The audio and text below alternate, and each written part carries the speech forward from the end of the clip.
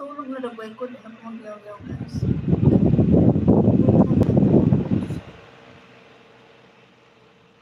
Ka-choice pala yan.